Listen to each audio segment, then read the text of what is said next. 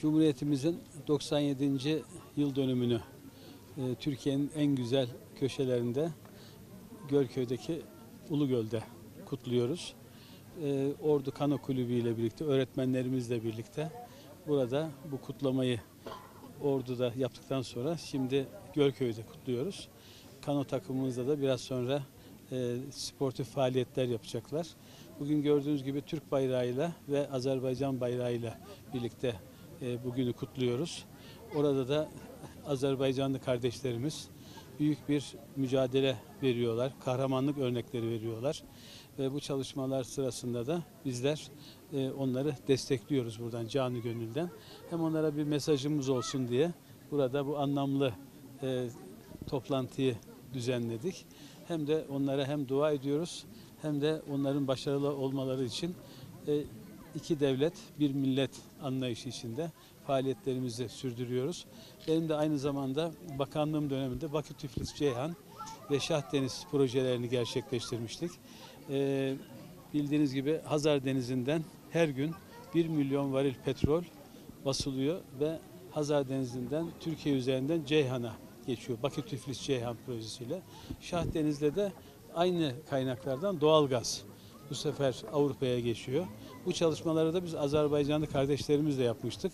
İşin hem ekonomik boyutu, hem askeri boyutu, hem sosyal boyutu, hem de inanç boyutu var. Bu bakımdan ordudan e, yürek dolusu selamlarımızı onlara gönderiyoruz. Dua ediyoruz başarılı olmaları için ve aynı zamanda da kanolarımızda da inşallah güzel günlerde belki bunu Hazar Denizi'nde gerçekleştiririz. Dolayısıyla ordulu öğretmenlerimiz ve sporcularımızla bunu gerçekleştiririz. Buradayız.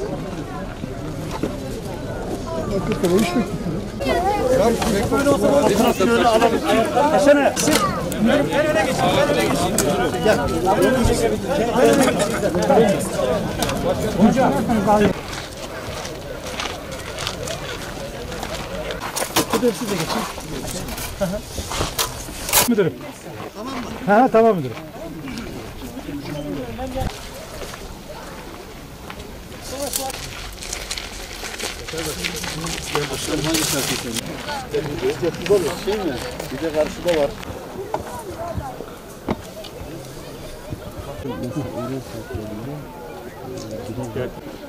Sen orayı. Baş. Sağ taraf.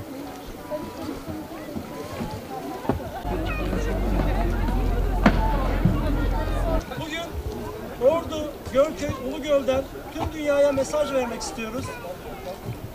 Ordu Kano Kulübü orta adı olarak ve burada Büyükşehir Belediye Başkanımızla beraber biz dünyaya kardeşlik mesajı vermek istiyoruz. Tam da 29 Ekim Cumhuriyet Bayramı'nın olduğu günde bir millet iki devlet düsturuyla yaşasın Azerbaycan, yaşasın Türkiye diyoruz ve buradan tüm dünyaya Azerbaycan ve Türkiye kardeşliğini ilan ediyoruz. Não, não,